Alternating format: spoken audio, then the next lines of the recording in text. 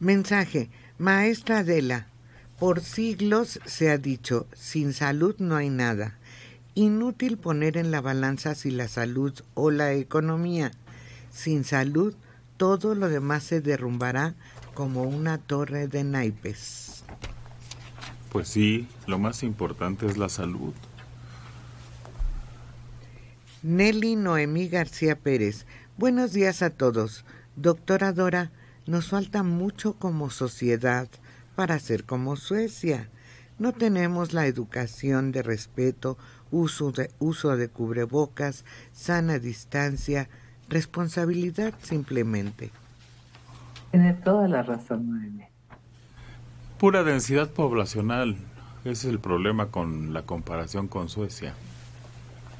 Son muy poquitos. Por eso tienen tanto bienestar.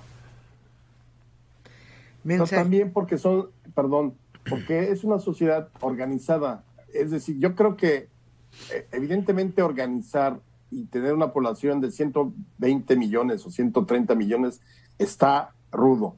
Pues Pero si a eso le agregas que hubo y que somos anárquicos por naturaleza y le damos vuelta a la ley y la podemos negociar y respetamos cuando nos conviene, pero cuando no, no, pues entonces está no solamente en mexicano, sino en chino.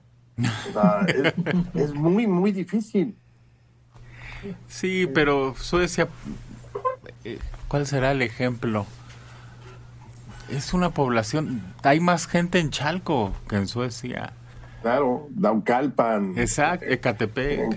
Sí, claro. Entonces no entra la comparación, no puedes, no, es casi imposible. Necesitarías compararlo con Tabasco. Más o menos. Manelik, dice otro un mensaje. En Francia ya tuvieron que relajar las medidas del pasaporte sanitario. Hay tantas protestas e indignación por lo que están utilizando para acotar la vida del ciudadano y obligarlo a vacunar. Ay, pobrecito del ciudadano francés, que, se tiene que vacunar, que lo obligan. Y es que ahí sí es un, el colmo de la canallez, eso de alegar derechos individuales para no vacunarse, de veras es una de las, de las perversiones más grandes de, lo que es la, el concepto de, libertades individuales. Y no, no se ha echado para atrás la autoridad francesa. El pasaporte sanitario está impuesto. Pero miren, 10 hospitales de Nuevo León se encuentran al tope. Ocho más están más o menos del 70 al 90%. Solo en Nuevo León están reportando esto. Los nosocomios de Nuevo León están al tope. De hecho, se están ocupando los hospitales militares. Hay ocho clínicas de Nuevo León en rojo. Tres hospitales de la entidad estaban ayer en amarillo con ocupaciones entre el 50 y el 70.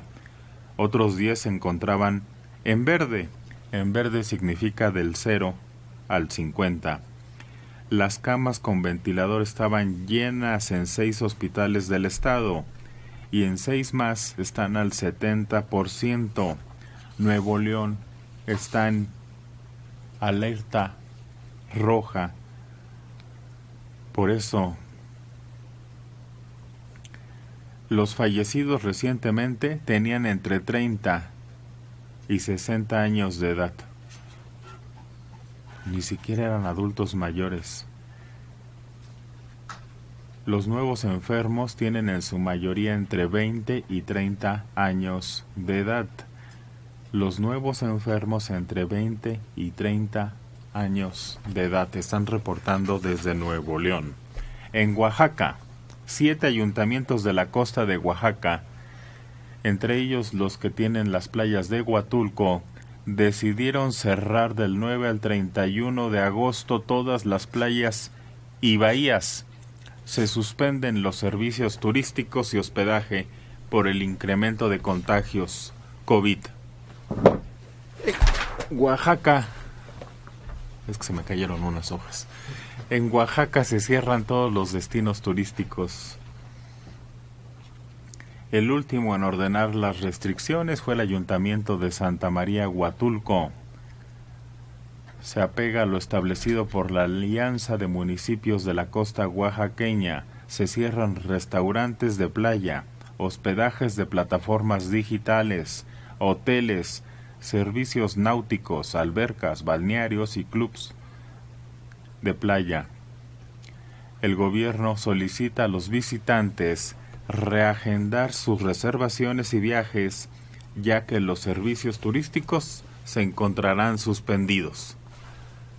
Se cierra toda la costa de Oaxaca.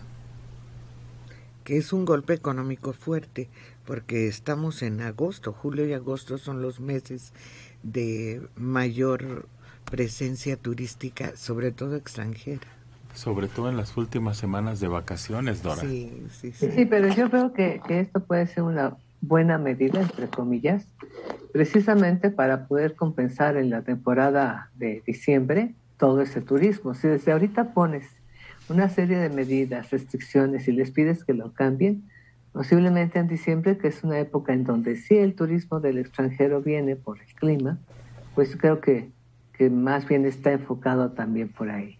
El cerrar ahorita, ya están por regresar a clases, sé que es verano, sé que el turismo extranjero viene, pero le veo muchas más posibilidades y oportunidades de recuperar economía y proyección en diciembre. Ah, tener paciencia al futuro. Planear y anticipar con paciencia, con estrategia. Y mientras aguantarse, Alejandro. Fíjate que eh, en progreso eh, eh, la, playa está abierta de lunes a viernes. Puerto Progreso. domingo cerrada. Puerto Progreso, sí, en Yucatán. abierta de lunes a viernes y cerrada sábado y domingo, pero cerrada. Es decir, le ponen de estas franjas como de la policía, como la que le pone Homero a Flanders Así de no pase. Y la gente respetuosa, o sea, sí se pasa un, par de personas, pero no tarda en llegar la autoridad a sacarlos. Entonces lucen totalmente vacías. Restaurantes y eso no están cerrados, pero evidentemente baja muchísimo el flujo de gente. O sea, estás con cierta tranquilidad porque no es de esas playas que están llenas. De hecho, no, no puedes acercarte a la playa. No es nada más de prohibido. No puedes pasar ni siquiera a sentarte a ver el mar. Pues el comunicado también exhorta a los habitantes a utilizar el cubrebocas. Hay multa de 500 pesos para quien no lo utilice o servicio comunitario. Y si no quieren, arresto de 36 horas. Prohibidas fiestas patronales, actividades deportivas, peleas de gallo, carrera, todas los eventos sociales que llamen a reunir mucha gente. En Oaxaca. Bueno, Guerrero. El gobierno de Guerrero anunció 25 medidas que se aplicarán a partir de hoy lunes. Están en semáforo rojo debido al aumento de casos de coronavirus. Entre las disposiciones destacan reducir aforos en hoteles, restaurantes y otros negocios. A ver, si el hotel está lleno, ¿a poco van a sacar a la gente? Si son hoteles, regularmente los domingos baja totalmente la ocupación. Ah, Centros comerciales, tiendas de autoservicio, vinaterías operarán con aforo del 50%. Se cierran en Guerrero. Bares, casinos y centros nocturnos. Los hoteles 40% como máximo. Se reduce el cupo en yates de recreo, servicios náuticos y deportes acuáticos. Gimnasios, cines al 30%, los restaurantes al 50%. En Guerrero, en Guerrero, también hay restricciones de movilidad por los acumulados que tienen de COVID. Son los que tienen cambios en su ocupación. Así que, ¿cuándo entran tus chamacos a la escuela? El 30 de agosto.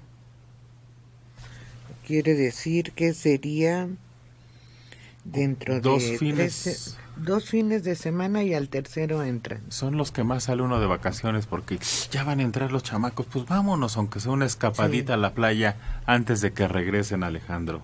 Pero los chicos, mira, hoy, según yo, hoy la UNAM entra. Ah, hoy la UNAM regresa. Pero ya eh, virtual, ¿no? Todo virtual. No, fíjate que eh, hubo comunicados en las semanas anteriores de que cada facultad vería. Yo por, por mi hijo sé que filosofía y letras sí es virtual pero ya hay actividades en la UNAM. Y luego el próximo lunes las preparatorias, eh, eh, al menos las privadas, no sé si, o las incorporadas a la UNAM también me parece. Eh, es lunes 16 empiezan ya las preparatorias.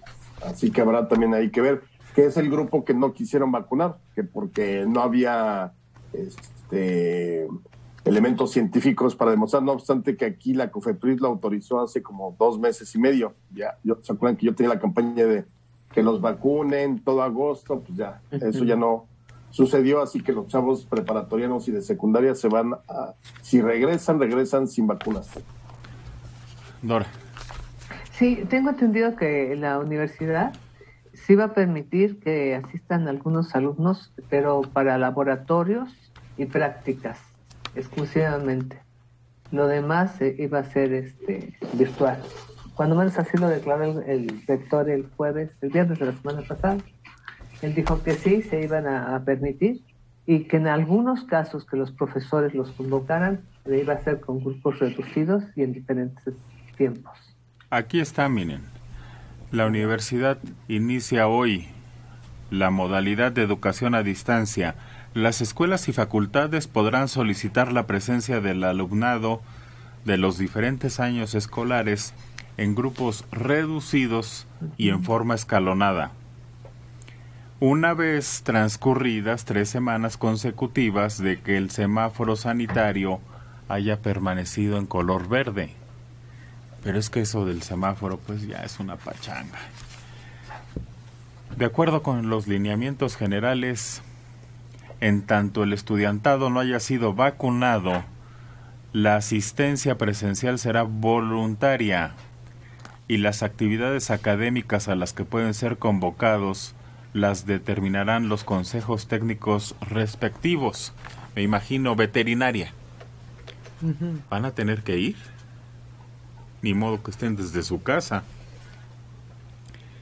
en aquellas escuelas y facultades donde por motivos de la pandemia o la suspensión de labores educativas los consejos hayan determinado llevar adicionales actividades adicionales se deberá informar a las comunidades a través de páginas electrónicas.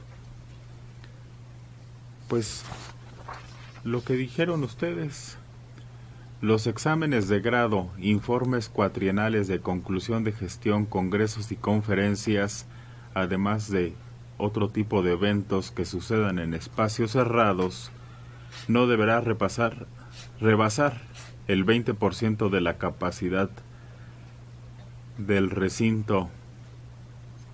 Y como no va a haber vacuna para los chavos, pues vámonos. Es que están faltando vacunas. Hoy eh, el presidente va a pedir nuevamente a Estados Unidos que nos facilite vacunas. Pero, Ebrard dijo, y el fin de semana orgullosamente hay 20. 90 millones. Sí, hay como 20 extras, ¿no, Alejandro?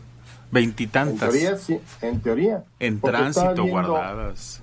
Somos como 25 millones los ya vacunados con el esquema completo, más o menos y de ahí todavía unos 15, como 40 millones aproximadamente menos, como unos 20 millones que solo tienen una dosis. Entonces no te dan las cifras, estamos eh, como en 60, digamos, millones y tienes 90 o un poco más, no importa. El punto es que algo está fallando ahí porque para lo que cacarea el canciller de 90 millones, no te dan las cifras de la gente vacunada en una o dos dosis.